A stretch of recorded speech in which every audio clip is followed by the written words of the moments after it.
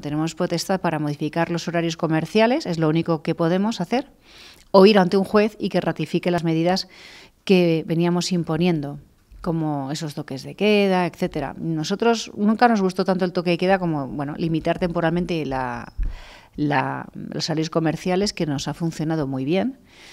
Y en estos momentos lo que pasa es que si no hay ley y ahora mismo una persona puede organizar una cena o una fiesta hasta las 4 de la mañana en su casa, que el bar de abajo lleve cerrado desde las 11 nos parece hasta improcedente, pero poco efectivo para combatir el virus. Preferimos que la gente se siga reuniendo en entornos públicos que en, los domicilios donde no hay ningún control.